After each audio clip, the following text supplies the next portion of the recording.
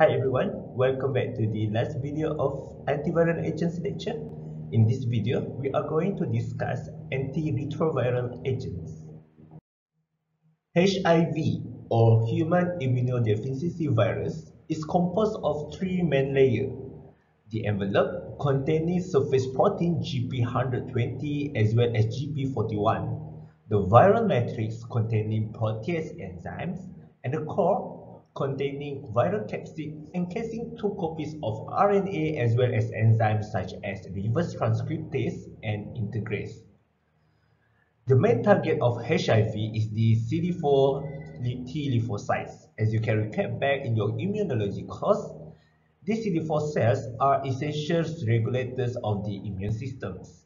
So, the first step of HIV infections involves sequential binding of this GP120 to the CD4 receptor and then to human core receptor at the CCR5 or CXCR4. This binding enables the viral envelope to fuse with the host cell membrane, allowing viral capsid to enter the host cell cytoplasm.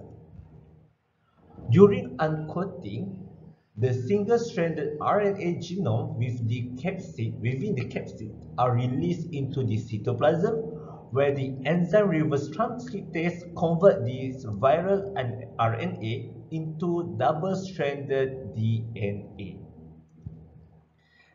So next, the integrase enzyme will bind to the viral DNA and transport it into the nucleus and insert it into host cell DNA. Using the host cellular system, copies of HIV genomic RNA as well as shorter strand of messenger RNA are constructed and then transported out of the nucleus. In the cytoplasm, mRNA is translated by the host cell ribosome to viral proteins that undergo modifications and cleavage by HIV protease enzyme. Finally, these resulting structural protein and replication enzyme assemble with viral genomic RNA to form new virions which then bud off, uh, the, bud off from the host cells creating new viruses that capable of infecting other cells. To date, there are six classes of antiretrovirus agents that are available in Malaysia. Each class is designed to block the virus at specific stage of the replication cycles.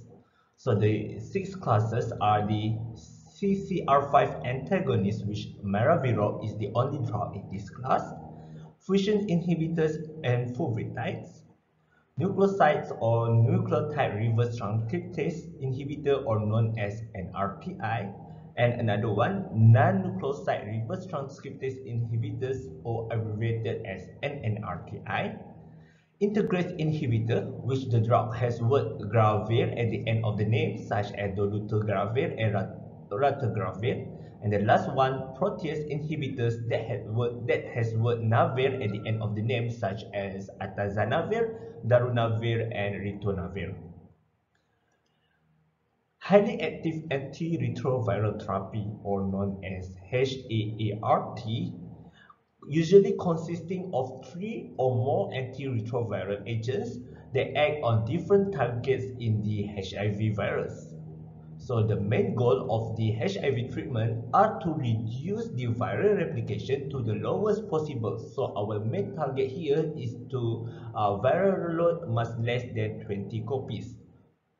So by reduce or suppress the viral replications, we're reducing the numbers of cumulative mutations and decreasing the likelihood of emergence of resistance.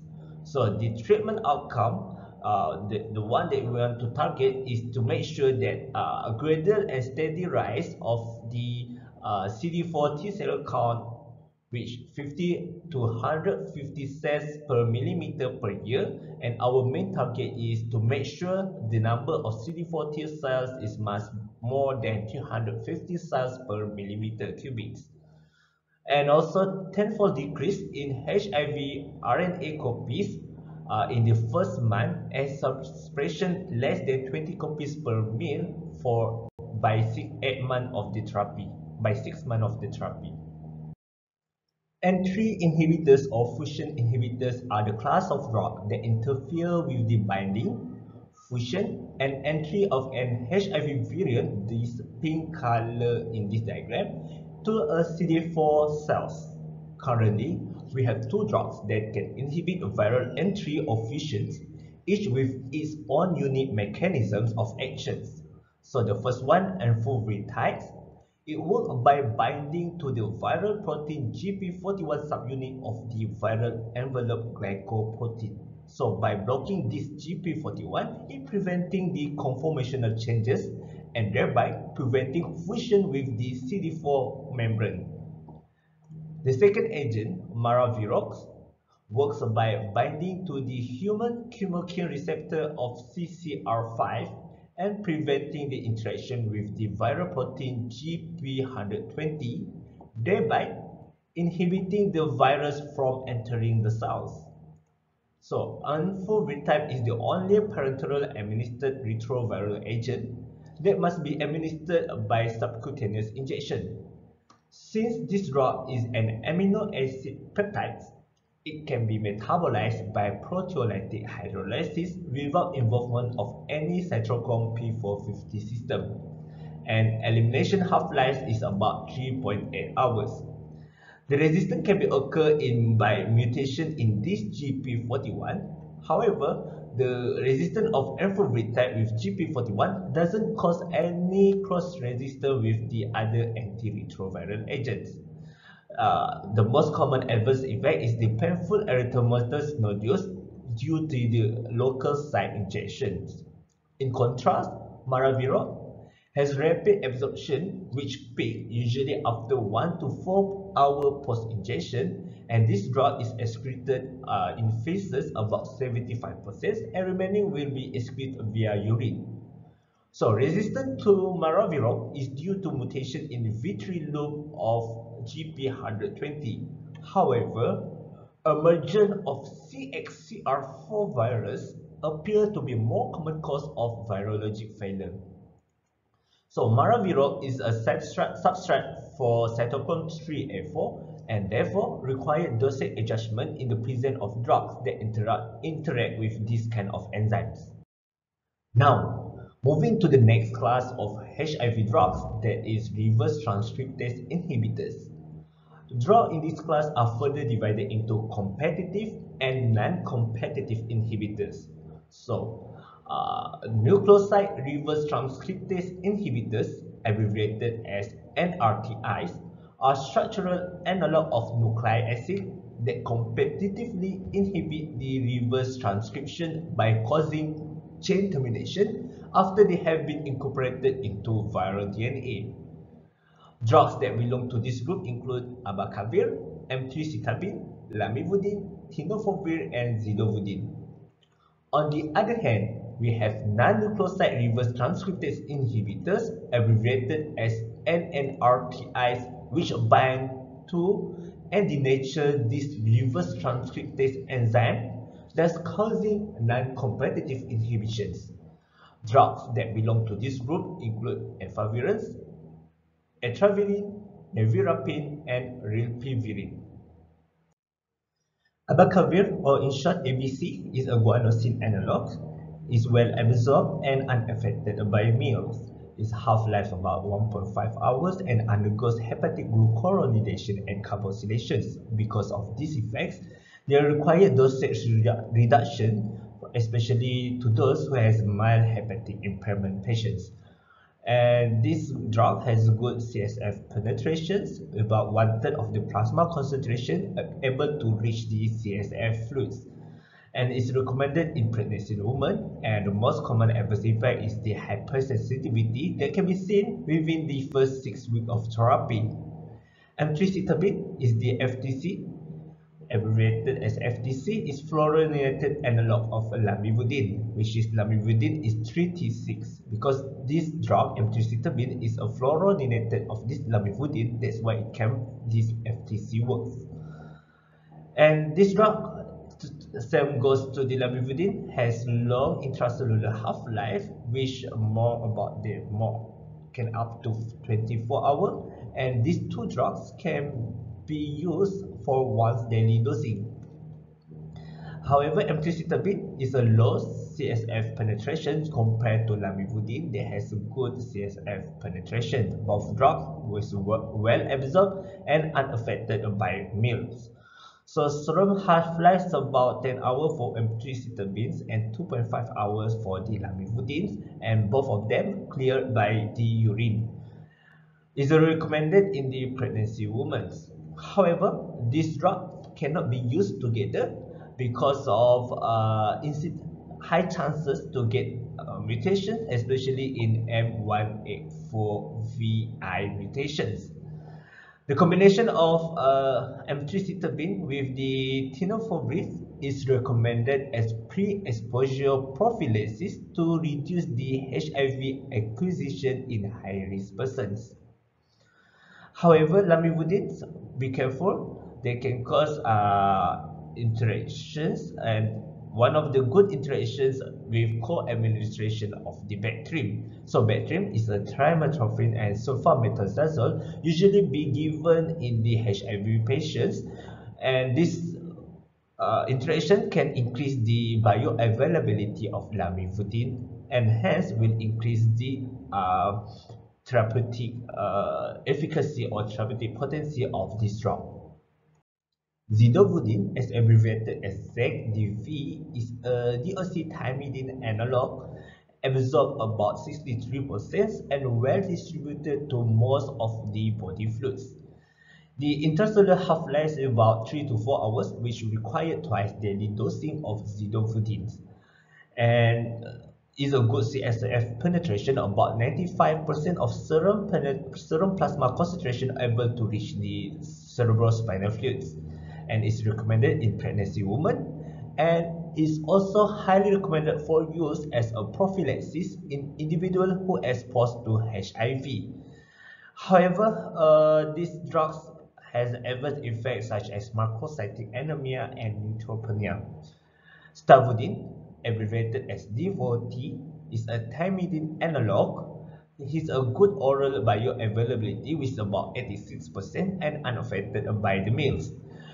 Uh, however, the cerebrospinal uh, fluid penetration is not as good as compared to other NRTI. It's about 55% and have half-life about 1 hour and be cleared by the renal clearance. Because of that, stavudine also uh, be used as a BD dose. The major toxicity of stavudine is dose-related, which will cause the peripheral sensory neuropathy, and this incident can be increased uh, by isoniazid, ribavirin, and sulfacristine. And this drug also may cause pancreatitis and will be elevate the ALT level, which one of the indicator of uh, hepatocytes uh, functions. Tenofovir, or the abbreviated as TDF, is poor oral bioavailability. However, when it taken together with meals, it will increase the bioavailability about 39%. It's a prolonged half-life and that's why it can be used as uh, OD dose and it be cleared by the renal clearance. It's also recommended uh, to be used in the pregnancy women and clinically it be given as a prophylaxis combination with the FTC, which FTC is the emtricitabine. And however, serum creatinine level should be monitored periodically because there are risks of renal dysfunction. Let's move to the next class of antiretroviral agent, which is the non-nucleoside reverse transcriptase inhibitors or short NNRTI. So I would like to emphasize on these three drugs, which are the efavirenz, EFV, nevirapine, NVP, as well as rilpivirine, RPV.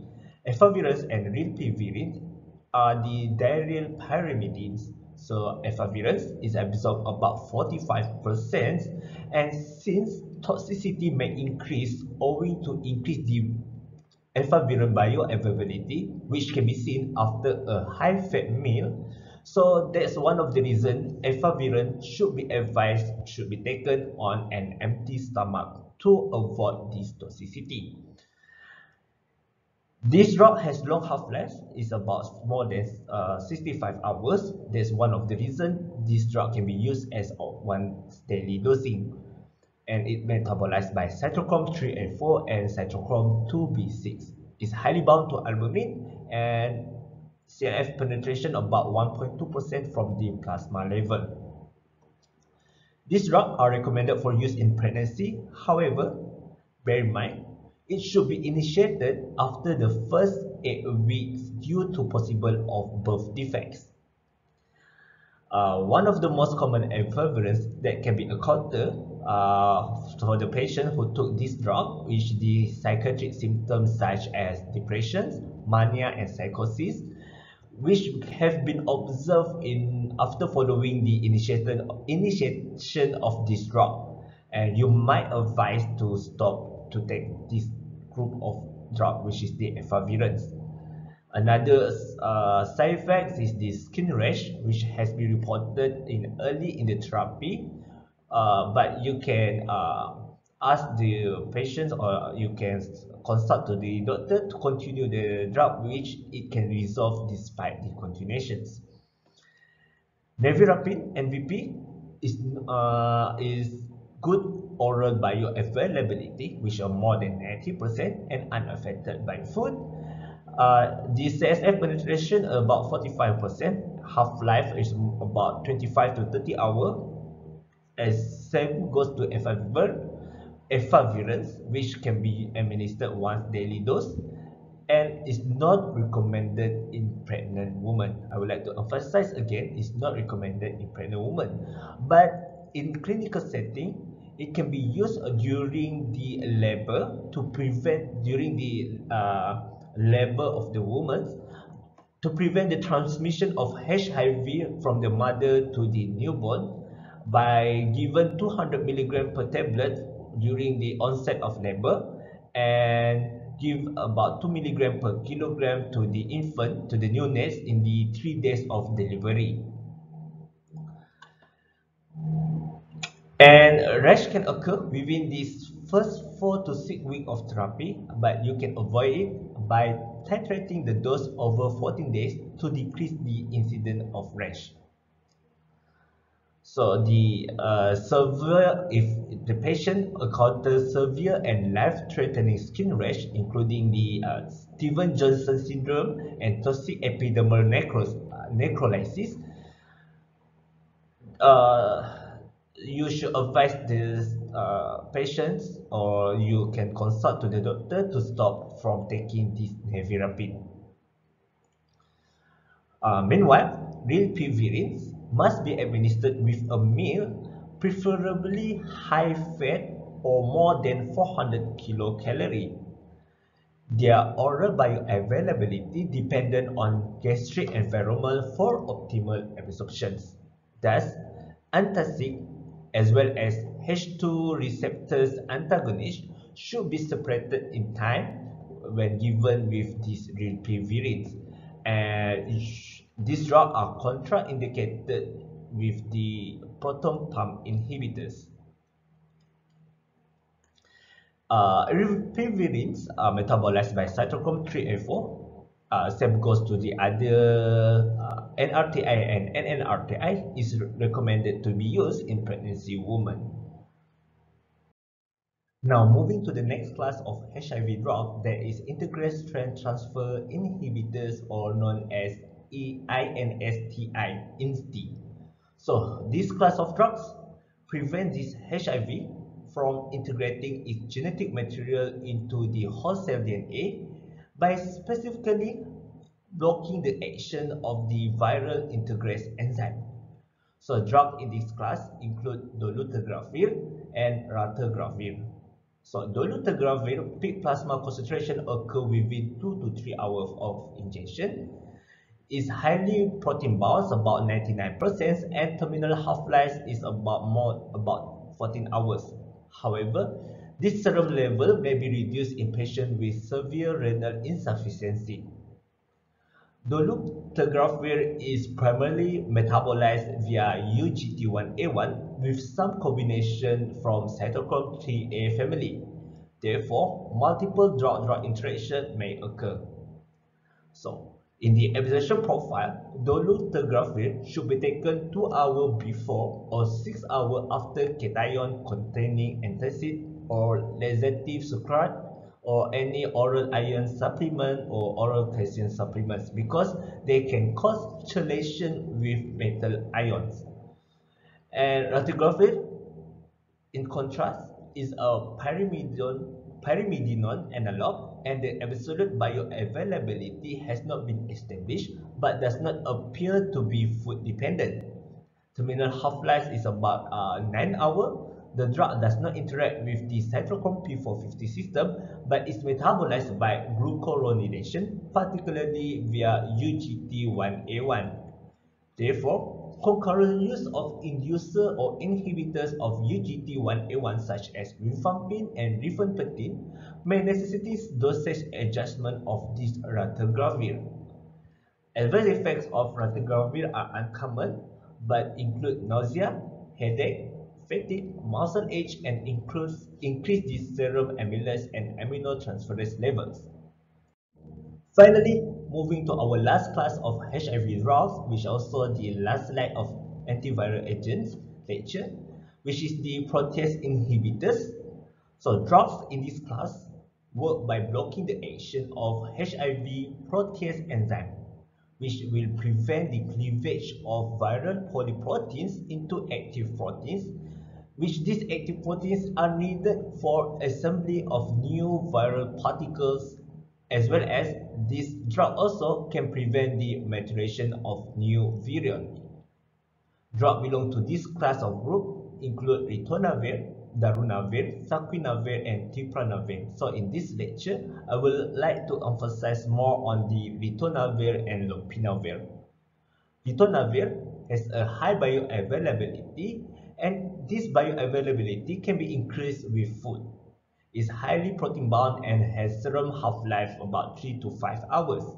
It metabolizes to an active metabolite via cytochrome 3A and cytochrome 2D6 isoforms, and this drug being excreted primarily in the feces. So, ritonavir is recommended for pregnant women and usually used as a pharmacology booster with characteristic has been used to great advantage when ritonavir to permit low or less frequent dosing with greater tolerability as well as the potential for greater efficacy against resistant virus. So this drug is administered as low dose about 100 to 200 milligram uh, BD in combination with any other protease inhibitor. However, this drug cannot be combined with saquinavir and cimapravir uh, because of this uh, in, can cause interaction which is increased risk of QT prolongation with uh, PR interval prolongations.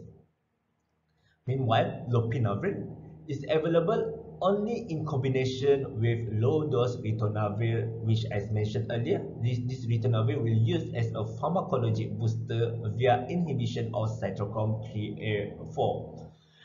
This will resulting in increased exposure of this antiviral agent and reduce the pill burden. Lopinavir is a highly protein bound which is 98 to 99% and half-life is about 5 to 6 hours and extensively metabolized by cytochrome 3A which can be inhibited by this ritonavir. So uh, this lopinavir and ritonavir also can be recommended for use in pregnant women.